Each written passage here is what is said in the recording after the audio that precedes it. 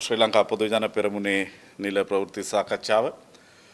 පළමුව අපි වර්තමාන ආණ්ඩුවට සුභපතනවා වර්තමාන ජනාධිපතිවරයාටත් අග්‍රාමාත්‍යවරිය ප්‍රමුඛ ආණ්ඩුවටත් අපි සුභ පැතුම කරන්න ඉතාම සත්භාවෙන් සුභපතලා අබමලකවත් උපකාරයක් ඒ අයට කියල විසඳගන්න ප්‍රශ්නයක් ඇතිව එහෙම නෙවෙයි ඒ සුභ පැතුම කරන්න ඉතාම සත්භාවෙන් මේ රටේ අනාගතය වෙනුවෙන් යමක් කරන්න ඔවුන් දරන උත්සාහයක් තිබේ නම් මේ උත්සාහය සාර්ථක වෙන්න කියන එක තමයි අපේ ප්‍රාර්ථනය ශ්‍රී ලංකා පොදු ජන පෙරමුණ විදිහට අපි තාම හදවතින් ඒ ජනතා ජයග්‍රහණයට සුභපතන්ට කැමති.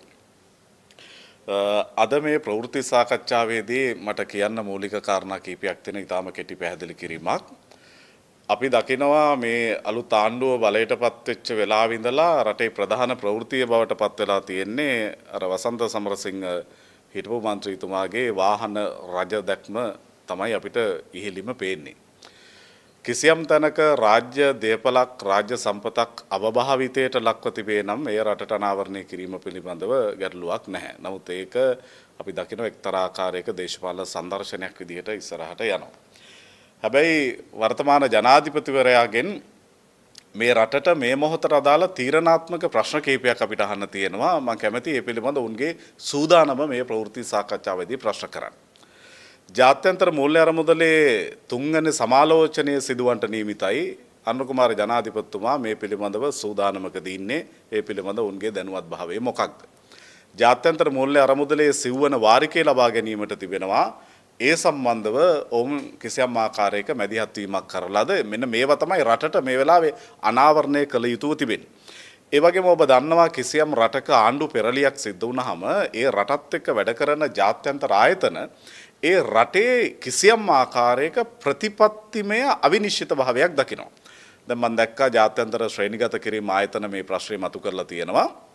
ලංකාවේ මීට පෙර ආණ්ඩුකරණයට ඍජුව සම්බන්ධ නොවුණු කණ්ඩායමක් අතර බලය හුමාරුවීමත් එක්ක ශ්‍රී ලංකාවේ ආර්ථික සමාජ ප්‍රතිපත්ති සම්බන්ධව ඇතිවන අනාගත තත්ත්වයන් පිළිබඳව යම් අවිනිශ්චිත භාවයන් ඇති වී හැකි ලෝකයේ එදෙස බලාගෙන සිටිනවා. ඒ නිසා මේ අවිනිශ්චිත භාවයට මූණ දීම සහ ඒ පිළිබඳව ජාත්‍යන්තරයට කිසියම් ආකාරයේ කරුණු පැහැදිලි කිරීමකට මේ ආණ්ඩුව මැදිහත් වෙලා ඉන්නවද මේකත් ඊටාම වැදගත් කාරණයක්. ඒ වගේම ඔවුන් විසින් කතා කළ ජනතා සහන රසක් තියෙනවා. අපි ප්‍රශ්න කිරීම අනුකුමාර ජනාධිපතිතුමනි ඔබ යෝජනා කළ ජනතා සහන ලැබෙන්නේ කවද්ද? වරායෙන් ගොඩබාන මිලට පෙට්‍රල් ගහන්න පුළුවන් කවද්ද? අපි මේ පිළිබඳව රටේ මහජනයා වෙනුවෙන් ප්‍රශ්න කරනවා. ඒ වගේම රටේ ආර්ථිකය මේ පවතින ආකාරයෙන් පවත්වාගෙන යාම කියන්නේ එකක්. මේ රට මෙතනින් ඉස්සරහට එක අඟලක් හරි යන්නට නම් නිසකෝම ආර්ථිකයේ යම් ප්‍රසාරණයක් සිදු කළ යුතු තිබෙනවා. අනුකුමාර ජනාධිපතිතුමාගේ අලුත් ආණ්ඩුවට රටේ ආර්ථිකය ප්‍රසාරණය කිරීම සඳහා මං කියන්නේ මේ පවතින තත්ත්වය කළමනාකරණය කිරීමට නෙවෙයි. ආර්ථිකය ප්‍රසාරණය කිරීම සඳහා මොකක්ද තියෙන වැඩපිළිවෙල. අනිවාර්යෙන්ම රාජ්‍ය ආදායමේ වර්ධනයක් ඇති කරගත යුතු වෙනවා ඊටාම ඉක්මනින්. රාජ්‍ය ආදායම වර්ධනය කර ගැනීම සඳහා මොකක්ද ආණ්ඩුවට තියෙන වැඩපිළිවෙල. දැන් අපි හිතමුකෝ සාමාන්‍ය අහිංසක නිශ්චිත දෛනික ජීවිතය පවත්වාගෙන යාමට තමන්ගේ මට්ටමින් පවත්වාගෙන යන්න හැකියාවක් නැති දුප්පත් ජනතාව වෙනුවෙන් අස්වැසුම වැඩපිළිවෙලේ තව මාස කීපයයි නැත්තේ. එතනින් පස්සේ ඒ මේ ආර්ථික වැඩපිළිවෙලෙන් වින්දිතයන් බවට පත්වෙන මහජනයා ඒ දුප්පත් පවුල් බලා ගැනීම වෙනුවෙන් මේ ආණ්ඩුවට වැඩපිළිවෙලක් තිබෙනවාද මේවා මේ සමාජයේ හැම ඉතාම කඩිනමින් අනාවරණය කළ යුතු තිබෙනවා. ඒ වගේම අමතක කරන්න බෑ මේ ලෝක දේශපාලනයේ මේ භූ දේශපාලනික තත්ත්වයන්. දැන් අපි දකිනවා ඊශ්‍රායලය ලෙබනනය අතර බරපතල යුද ගැටුමක් ලෙබනනයේ සිටින ශ්‍රී ලාංකිකයන්ගේ ආරක්ෂා පිළිබඳ මැදිහත්වීමක් කළාද ලෙබනනයේ සිටින ශ්‍රී ලාංකික රැකියාලාබීන් සහ මේ රටේ ආර්ථිකය අතර ලැබෙන විදේශගත ශ්‍රමිකයන්ගේ ප්‍රේෂණ සම්බන්ධ සම්බන්ධයක් තියෙනවා. ඒ පිළිබඳව ඔබේ ආණ්ඩුව දැනුවත්ද? ඒ පිළිබඳ යම් මැදිහත්වීමක් කරලා තියෙනවද? ඒ වගේම අපි දකින මේ ප්‍රශ්න ටිකක් දුරදිග යන බවක්. ඉරානයේ ඇමරිකාව අනිත් පැත්තේ මේ ප්‍රශ්නේ මැදිහත් වෙන්න ඉඩ තියෙනවා. එහෙම වුණොත් ලෝකයේ තෙල් මිලට ඇති වෙන බලපෑම සම්බන්ධව ඉදිරියේදී ගැටලුවක් ඇති වුණොත් ඔබ සූදානම්ද ඒ අභියෝගයට මුහුණ දෙන්න? රතු මුහුදේ නාවික කටයුතු සම්බන්ධව ගැටලුවක් මතුවුණොත් ඉරාන ඇමරිකා සහ ඊශ්‍රායල් ලෙබනන් ප්‍රශ්නයත් එක්ක ඒ තත්ත්වයට ඔබ මුහුණ දෙන්න ලෑස්තිද? යුක්‍රේන ජනාධිපතිවරයා එක්සත් ජාතීන්ගේ මහමණ්ඩලය හමුවට විජයග්‍රහණයේ සැලැස්මක් කියලා එකක් ඉදිරිපත් කළා. කිසියම් අලුත් වැඩපිළිවෙලක් ඉදිරිපත් කරනවා. යුක්‍රේන රුසියා ගැටුමේ අවසානයක් තාම පේන්නේ නැහැ. ඒ සම්බන්ධව ඇතිවෙන අනාගත තත්ත්වයන්ට මුහුණ දෙන්න. මොකද මේ දූපත් රාජ්‍යයේ දූපත් මානසිකත්වයෙන් විතරක් දේශපාලන වේදිකාවේ කතා කළාට ආණ්ඩුකරණය එහෙම කරන්න බෑ. අපි දකිනවා රුසියානු යුක්‍රේන ගැටුමේ තව අලුත්ම තත්ත්වයක්. ඒ තමයි ජර්මනිය ඇතුලේ ජර්මනිය වර්තමාන චාන්සල්වරයාගේ පාලක පක්ෂයට එරෙහි අලුත් බලවේගයක් ජර්මනිය ඇතුලේ නිර්මාණය වෙනවා මේ දවස්වල තියෙන ජර්මනියේ ප්‍රාදේශීය මැතිවරණය ඇතුලේ ඒකේ ඒ ගොඩනැගෙන අලුත් කණ්ඩායම රුසියන් හිතවාදී කණ්ඩායමක් විදිහට තමයි ඒ අය මහජන ඡන්දයෙන් ඉස්සරහට එන්නේ. එතකොට අපි දන්නවා ජර්මනිය නියෝජනය කරන්නේ වෙනත් මතයක් චාන්සල්වරයා ඇතුළු ආණ්ඩුව. මේ වගේ ඇති වෙන අලුත් තත්ත්වයන් පිළිබඳ මේ ලෝක දේශපාලන ප්‍රවණතා පිළිබඳ ඔබ දැනුවත්ද? මේ පිළිබඳව ඇතිවිය හැකි අනාගත අභියෝගයන්ට මුහුණ දෙන්න මේ ආණ්ඩුව ලෑස්තිද? මම මේක ප්‍රශ්න කරන්න හේතුව වසන්ත සමරසිංහගේ අර රතවාහන රජ දැක්මෙන් එහාට ආණ්ඩුවට යන්න වෙනවා කියන එක මතක් කරන්න. මම නැවත කියන්නේ කවුරු හරි මිනිහෙක් ආණ්ඩුවේ වාහනයක් අයථා විදියට පාවිච්චි කළා නම් ඒ අයව රටට අනාවරණය කරන්න ඒක ප්‍රශ්නයක් නෑ. හැබැයි ඇත්තටම ආණ්ඩුවක් පෙරළුනහම ආණ්ඩුවක් වෙනස් වුනහම කිසියම් තනතුරක් දරපු කෙනෙක් Tamanගේ තනතුරට හිමි වාහනය නැවත ගිහිල්ලා ආණ්ඩුවට බාර දුන්නාම ඒ රතවාහන පේලිය ගෝල් පේස් එකේ පෙළගස්වල එක සංදර්ශනයක් කරගන්නවට වඩා අනික තව ප්‍රශ්නයක් ජනාධිපති කාර්යාලයේ හෝ මුදල් අමාත්‍යාංශයේ තියෙන වාහනයක් කවුද ගෙනිච්චේ? කවුද ඒ මොන නිලධාරියාද මේ වාහනේ නිකුත් කළේ? කාටද නිකුත් කළේ? වාහනේ නිකුත් කරන වෙලාවේ කිලෝමීටර් කීයක් දුවලා තිබ්බද? දැන් බාර දෙන වෙලාවේ කිලෝමීටර් ගාන කීයද වාහනේ කන්ඩිෂන් එක දෙන වෙලාවේ කොහොමද? දැන් කොහොමද? මේක බලන්න ඕනේ ප්‍රවාහන දෙපාර්තමේන්තුවට. ඒ කියන්නේ මුදල් අමාත්‍යාංශයේ හරි ජනාධිපති කාර්යාලයේ හරි ප්‍රවාහන අංශයේ නිලධාරියෙක්. ඉගැන වසන්ත සමරසිංහ මේ ආණ්ඩුවේ රතවාහන භාර රතවාහනවලට අධිපති දෙයෝ කියලා අපි දැනන් හිටියේ නෑනේ. ඇත්තටම ඔහුට නෙවෙයි අයිතිය තියෙන්නේ. ඒකට අදාළ නිශ්චිත නිලධාරියෙක් ඉන්න ඕන. ඒ නිලධාරියා කියන්න ඕන මෙන්න වාහනේ අංකය. මේ අංකයේ සහිත වාහනය අහවල් දිනේදී අහවල් මයිලේජ් එක සහිතව අහවල් කන්ඩිෂන් එක සහිතව අපි අහවලාවට දුන්නා කියලා. මං කියන්නේ මේක ඇතුලේ අනවශ්‍ය දේශපාලන වෛරයක් අපේක්ෂා කරන්නේ නැත්නම් ඇත්තටම රාජ්‍ය සම්පත්වල සුරක්ෂිත භාවයක් නම් අපේක්ෂා කරන්නේ ඒක තමයි කරන්න වෙන්නේ. කවුරු හරි දැන් සමහර වාහන මග දාලා ගිහිල්ලාලු. මග දාලා ගියා නම් එයා කවුද කියලා එන හොයලා බලලා කියන්න. කොළඹ හැමතැනම CCTV තියෙනවනේ. එහෙම නැත්නම් බාර දීපු වාහන ටිකක් මෙතෙන්ට ගෙනල්ලා පෙළ ගැස්සුවද? දැන් මිනිස්සු හිතනවා මේ වාහන ටික කවුරු හරි හොරු ටිකක් පාරේ නතර කරලා ගිහිල්ලා කියලා. ඇත්තටම එහෙම දෙයක් දුන්නේ. මේක අනාවරණය කරන්න හැබැයි අනාවරණය කළ යුත්තේත් ඒකට අදාළ නිශ්චිත නිලධාරියෙක් විසින්. මම මේ කතාවත් ගැලපුවේ මේ වාහන සංදර්ශනයෙන් මෙහා ගිය රට වෙනුවෙන් කරන්න දේශපාලන මැදිහත්වීමක් ඔබට තියෙනවා. ඒ ගැන දැනුවත්ද කියන ප්‍රශ්න කිරීම තමයි අද ප්‍රවෘත්ති සාකච්ඡාවේදී මම කළේ. අහමැතිවරණය ප්‍රකාශයට පත් වෙලා තියෙනවා. එතකොට ඔබතුමන්ලාගේ පසුගිය ඔබතුමන්ලට ලැබුණු ඡන්ද ප්‍රතිඵලය සම්බන්ධයෙන් විශ්ලේෂණයක් කරලා තියෙනවද මේ දෙවන්ත කඩා වැටීම සම්බන්ධයෙන් මොන වගේ අදහසකද ඉන්නේ? පැහැදිලි ලෙසම ලංකාවේ මැතිවරණ ප්‍රතිඵල විශ්ලේෂණයක් මැද්දට මේක ගෙනාවහම ඉතාම පැහැදිලි දේශපාලන තරහකින් කා පිළිබඳ හෝ අකමැත්තකින් නෙවෙයි මේක කියන්නේ මේක පැහැදිලි ලෙසම විරෝධාකල්ප ඡන්දයක්.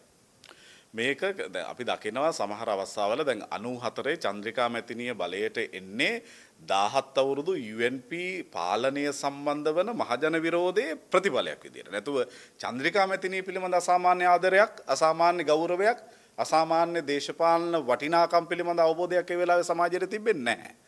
ඒ අය ඒ වෙලාවේ මහජනයා 162ක් ඡන්ද දෙන්නේ 94 බහුතරයක් සහිත පාර්ලිමේන්තුවක් හදන්නේ පොදු ජන එක්සත් පෙරමුණ වෙනුවෙන් UNP විරෝධයේ ප්‍රතිඵලයක් විදියට.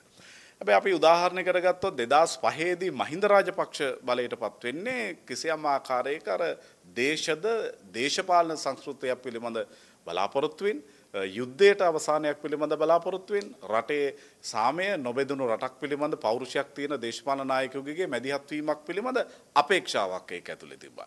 2015 මෛත්‍රීපාල ජනාධිපතිතුමා බලයට එන්නෙත් මහින්ද රාජපක්ෂ පාලනය සම්බන්ධ ඇති වුණු එක්තරා ආකාරයක මහජන අකමැත්තක ප්‍රතිඵලයක් විදිහට. ඒ කියන්නේ ඒකට අපි කියන්නේ විරෝධාකල්ප ඡන්දයක්.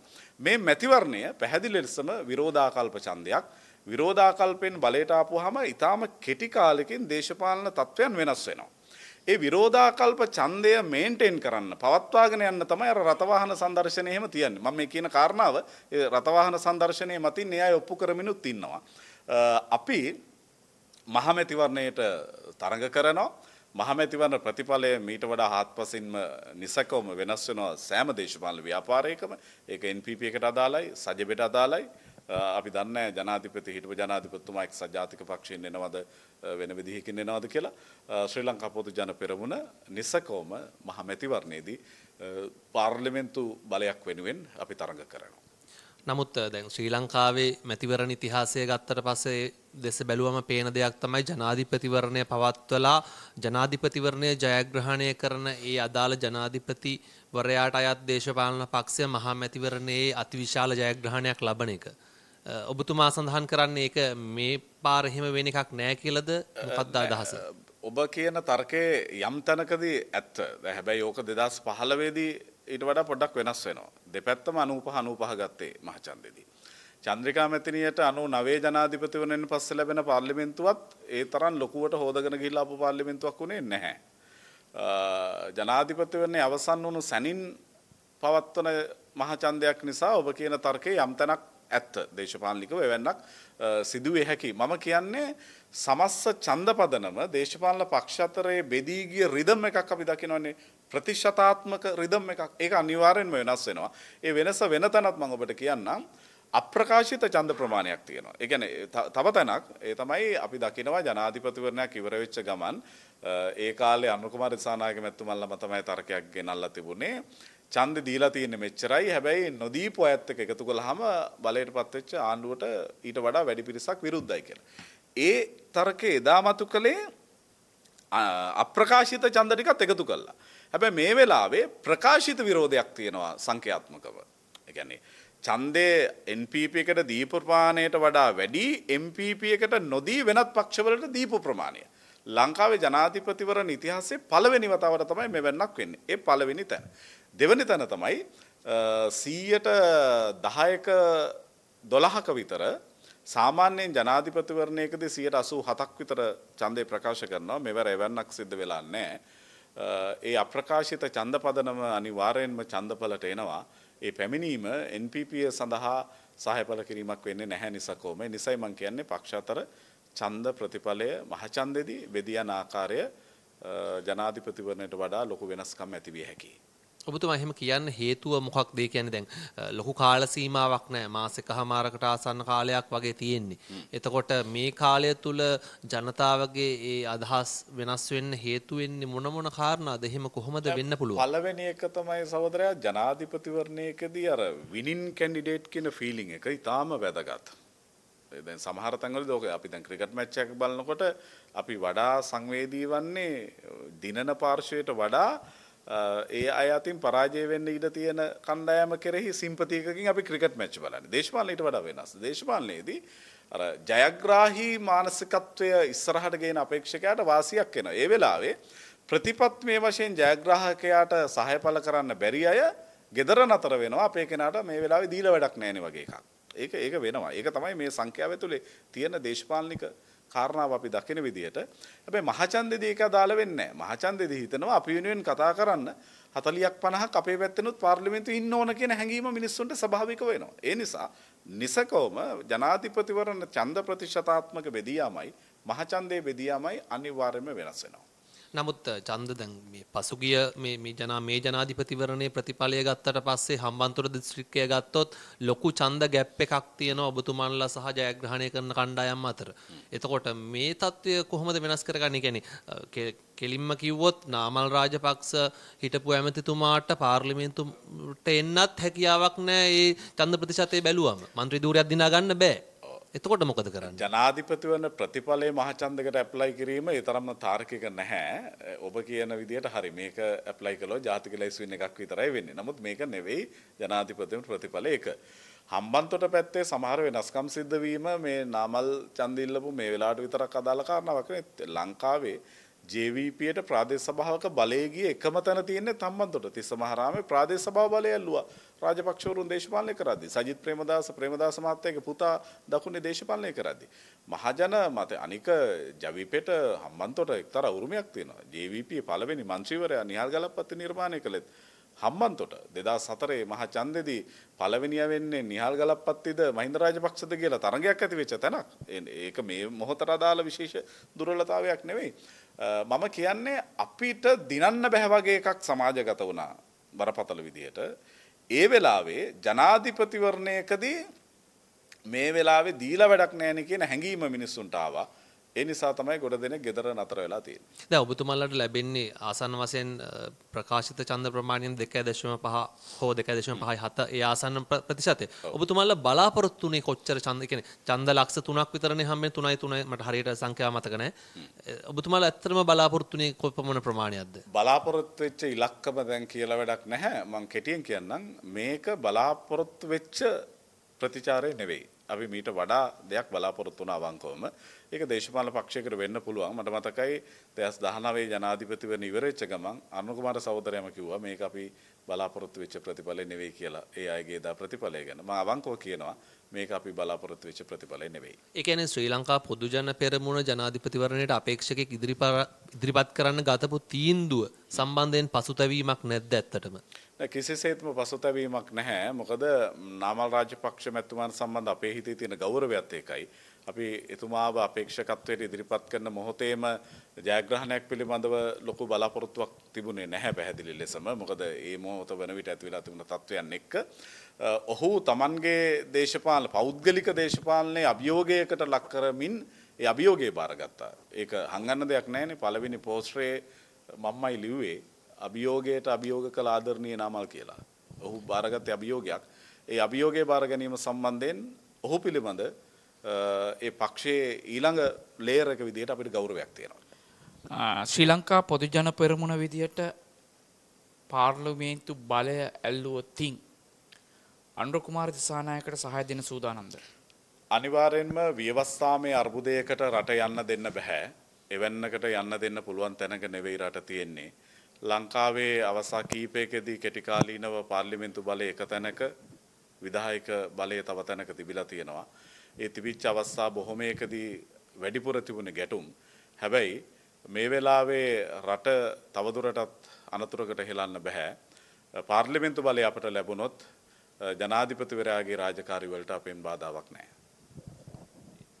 එකන මොන වගේ දේවල් වෙයිද කියලා පොඩක් පැහැදිලි කරන්න. නෑ මෙහෙම දැන් සාමාන්‍ය මෙහෙම කරන්න පුළුවන්නේ පාර්ලිමේන්තු බලය වෙන පැත්තකට ගියොත් ඔන්ලයින් ජනාධිපතිවරයාව දෝෂාභියෝගයකට ලක් කිරීමේ නරකම තැන ඉඳලා ඉන් මෙපිට විවිධ බාධක ගේ නානපනත් පරාජය කරන්න පුළුවන් අයවැය පරද්දන්න පුළුවන් අ, රට පවත්වාගෙන යන්න නොහැකි වෙන තැනට පාර්ලිමේන්තුවට ඔන්නන් හිතුවක්කාර වෙන්න පුළුවන්. මම කියන්නේ ඒ අනවශ්‍ය දේශපාලන හිතුවක්කාරකම මේ වෙලාවේ කරන්න අපේ බලාපොරොත්තුවක් නැහැ. මොකද රට තියෙන්නේ එහෙම දේශපාලන ගැටුම් ඇති කර ගත හැකි තැනක නෙවෙයි.